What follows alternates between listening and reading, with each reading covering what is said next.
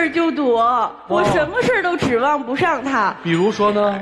比方说，就是我们有一次去看电影嘛，啊本来我们选的是最佳的那个座位，啊然后一去那儿就是，呃，看见座位被人抢了。啊你说他作为一个男人，当时不应该就是跟那对情侣理论一下吗不？是理论什么呢？就是那座位是我们的呀，你凭什么坐我们的座位啊？他一句话都没说。没有。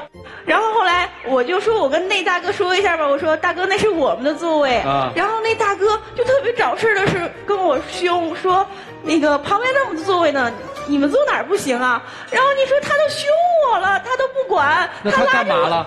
他就他还拉着我的衣服说，走走走，咱坐旁边吧。你说有这么软弱的男人吗？哦，是你干的？我们那次也是迟到了嘛，人家都坐那儿了，电影也开始了，好多人都看着呢，哎老丢人了。我我也不会吵架呀。嗨，这孩子，我觉得挺占理儿的事儿，啊你知道吗？主持人他就拉着我走，后来那两口子跟我吵起来了。我一个小女生，我也吵不过人家。啊，后来把我急哭了，他就站在那儿跟木头一样，啊我都不知道要他有什么用啊。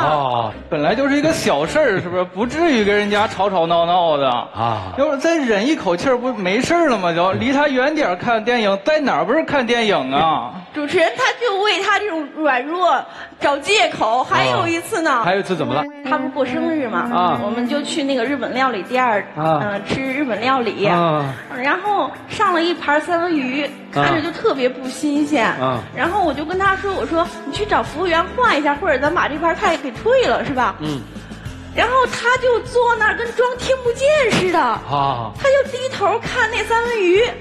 后来我生气了，我推了他一下，他这才起身去换那盘菜你。不换了不就行了吗？然后他拿回来的那盘菜还是原来那盘儿啊，我说你怎么没换呢？他说两个售货员吵架呢。你说两个售货员吵架关他什么事儿啊？跟换菜有什么关系啊？宝宝怕怕就回来了啊，怎么了你？确实是人家都挺忙的，我也不好意思说。再说也只是干了一点儿嘛，你不吃我吃还不行吗？男生就是不愿意惹事儿是吧？嗯，对，啊，后来我把服务员叫过来了，啊我说把这盘菜给我们换一下。啊他当时表现更让人气人，他要坐那儿，他盯着那三文鱼看，就像给三文鱼默哀似的，你知道吗？啊他睁眼都不敢瞧那个服务员一眼。服务员一看是那服务员长得特别好看吗？他都不敢看了，姑娘，他就是不敢看，长什么样都不敢看。为什么呀？我可能有点害羞吧，我你害羞羞，又不让你跟他相亲换个菜吧，真是。